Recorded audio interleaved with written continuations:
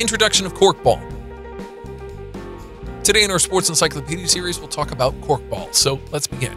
Corkball, also known as mini baseball, is a modified variant of baseball and can be played in a much smaller field than a traditional baseball field.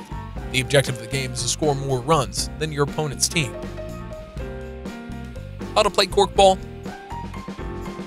Corkball is a team sport in which two teams compete against each other in a field that's about 30 feet wide and 250 feet long.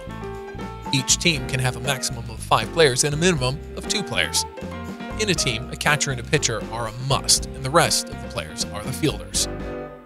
The game of corkball is played with a bat that's similar to a bat used for baseball, but is smaller in size. The balls and strikes in the game of corkball are the same as that of baseball.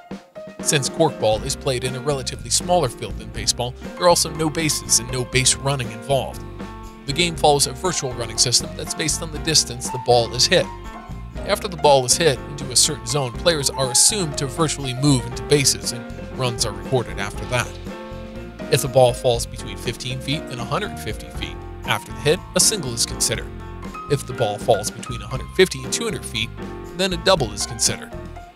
And if the ball falls between 200 feet and 250 feet in that zone after hit, a triple is considered. If the ball falls beyond 250 feet, a home run is given to the player. The hits that fall under 15 feet do not count.